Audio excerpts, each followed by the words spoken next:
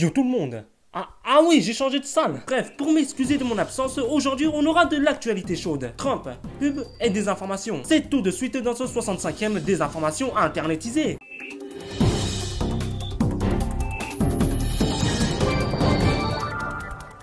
Bien évidemment, c'est un événement qu'on attendait depuis 2008. Euh, Le changement de président américain. Et bien évidemment, personne, et personne ne voulait vivre ce moment. À part euh, les pros Front National et tout, mais voilà. Et bien évidemment, quoi de mieux que pour parler de Trump que de voir toutes les images?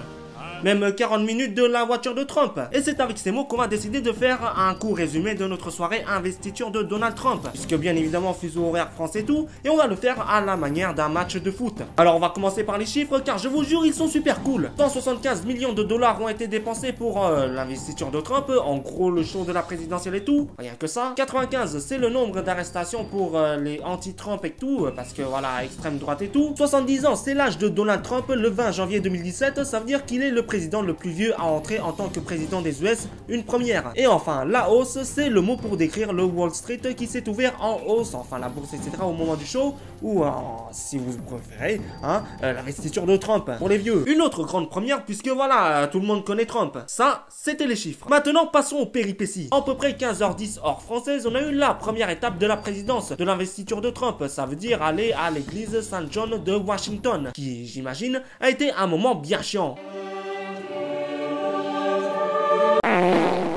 Non mais excusez-moi, c'est trop chiant ici. Hein. Puis ensuite, 15h40, Trump rencontre la famille Obama. Et ensuite, la famille euh, George W. Bush. Euh, vous savez, celui qui a pu avoir des... Beaucoup moins nombreux qu'en janvier 2001, plusieurs milliers d'opposants à George Bush, pacifistes, féministes ou encore écologistes, ont manifesté au passage de son cortège, scandant les mots assassins et menteurs. Et ah oui, euh, pendant sa présidence en 2001, il y avait truc-là. Et pendant ce temps, les quelques manifestants anti-Trump espéraient annuler la présidence de Trump. Mais en fait, il n'en est rien, bien évidemment. Enfin, on s'égare un peu, passons à la suite. Et après que Bush est venu, eh bien, euh, on a eu Hillary Clinton, avec son sourire qui en fait cache une super tristesse. Oui, oui, euh, si, je, sais, la tristesse d'avoir plus d'électeurs et de ne pas gagner les élections. Oui. Puis Donald Trump, après avoir passé plein d'étapes cheloues, a pu rejoindre la Maison Blanche avec un Barack Obama. Un Barack Obama ému ému au point de presque en avoir les larmes à l'œil.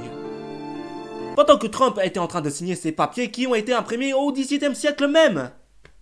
Avant Jésus-Christ. Non mais regardez-moi la texture. On dirait que dans le monde de la politique, c'est à la mode de garder des vieux trucs, euh, etc. du 17e, 16e siècle. L'Assemblée nationale, la paperasse et tout. Et puis, on a eu de la pub. Oui, pour enfouler les caisses du groupe SFR, BFM TV a décidé de faire comme TF1. Mettre une masse de pub. En voici la collection complète des 1 heure de pub. Pour skier en toute confiance, réservez vos skis à l'avance sur skiset.com. Location de ski en ligne partout en montagne.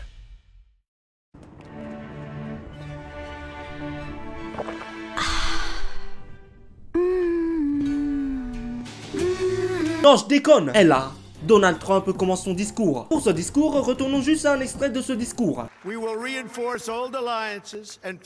allons renforcer les nouvelles alliances, nous allons bâtir de nouvelles alliances, nous allons unifier le monde civilisé, nous allons nous réunifier. Il est temps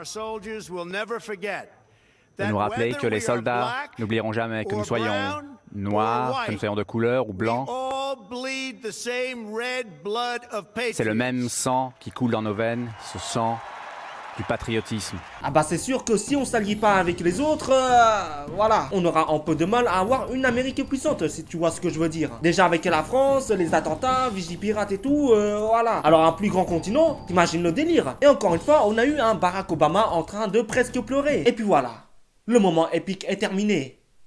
Attendez, c'est juste un citoyen qui du jour au lendemain devient président, il n'y a pas de quoi se leurrer la face. Bon, pour faire transition, j'avais prévu de parler des primaires de gauche avec notamment Manuel Valls et sa gifle. Oui, bonjour. Bonjour Guillaume. Euh, Bonjour Manuel, euh, salut Manu. Euh, salut. C'était pour te dire Manu, euh, je sais pas si, enfin si tu trouves ça euh, normal ou pas, mais moi je pense que la claque en fait, on est 66 millions à vouloir te la mettre quoi. Enfin c'était juste trop bon, sans déconner quoi. Il a été parfait le bonhomme quoi. C'était juste génial. Alors ça, cet appel à la violence, c'est non, c'est non et pas sur l'antenne de France Inter. Désolé pour ce moi, Non. Mais bon, euh, comme on n'a plus de temps et que voilà, le temps c'est de l'argent, enfin bon, voilà, le temps c'est le délire, on va le faire la prochaine fois. De toute façon, dans une semaine, tout le monde va oublier toutes les choses. Alors c'est pas grave. Cet hiver, c'est la merde, car il y a trop de grippe. Comme toutes les années, mais bon, comme on a envie de balancer le fric des impôts à la fenêtre, c'est pas trop grave. Alors voici trois gestes simples pour combattre cet enculé de grippe. Se laver les mains, c'est que tout le monde fait déjà. Merci beaucoup vraiment pour ce conseil là. Utiliser des mouchoirs en papier, que tout le monde fait déjà pour euh, euh, euh, faire plaisir à la kéken, n'est-ce pas? Utiliser un masque. Mais, mais, un masque de quoi? Un masque de culture Un masque d'Halloween ou quoi? Putain, mais même le taxi il est à chier Ce message à chier vous est délivré par le ministère de la Santé. Ceci est un message à ne pas prendre à la légère pour les moins de 99 ans, sous-poudré par de longs, longs messages inutiles et qui vont très très vite. Mais bon, on aime bien rien dire en un minimum de temps. Comme par exemple, Kiki Messagien vient de vous montrer sa chatte à tous les caméras voyeurs qui... Non, non, non, j'ai plus de perte,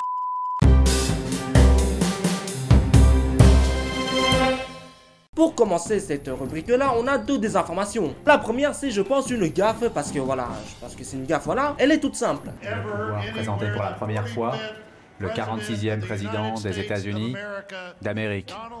Ah bon? T'en es sûr, là?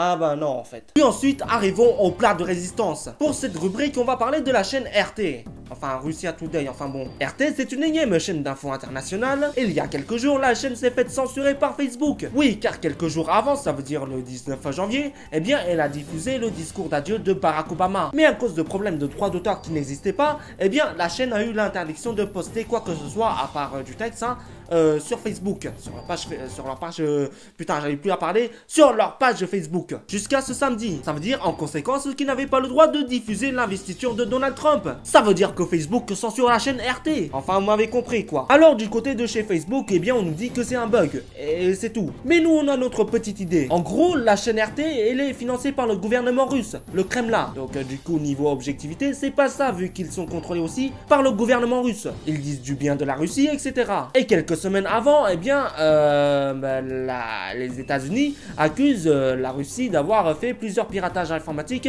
euh, chez Hillary Clinton pour favoriser Donald Trump pendant les débats présidentiaux, etc.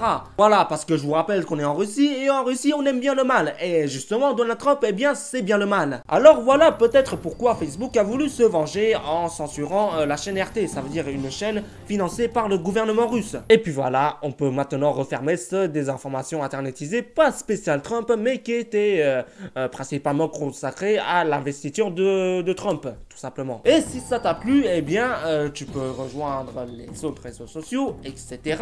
Hein je sais pas pourquoi je parle comme ça, mais bon, voilà. Mais ce que je voulais dire, voulais dire d'autre, eh bien, c'est que si vous avez aimé regarder Donald Trump, et surtout ces 40 minutes de voiture de Donald Trump, etc., eh bien, je vous propose de, que, bah, de toute façon, je vais le faire, hein, là, c'est improvisé, encore une fois, les vidéos sans nom, etc., les news, etc., eh bien, euh, je vous propose de...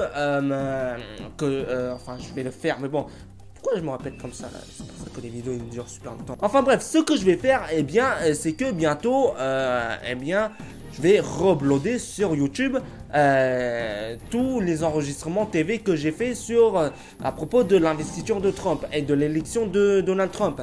Et donc, du coup, je vais uploader ça sur euh, le net, sur YouTube. Et euh, du coup, vous allez bientôt voir. Euh, je vais mettre une annotation quelque part. je vais essayer de me débrouiller. Et eh bien, vous allez voir les, tous les enregistrements que j'ai fait à propos de, des élections présidentielles aux États-Unis. Donc, ça vous permettra de voir, etc.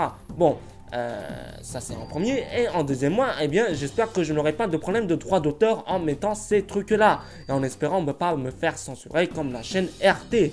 Voilà. Donc je peux vous refermer cette parenthèse télévisuelle ici. Et donc je peux vous refermer également cette émission-là. Bordel de merde. Et en vous disant euh, salut à tous et à la prochaine et passez de bonnes vacances. Enfin, je sais pas si vous êtes en vacances. Enfin, bon, bref. Salut à tous et à la prochaine. Et oui, il y a Obama qui est en vacances, mais bon. Voilà, je pense pas qu'ils regardent mes des informations internetisées. Voilà.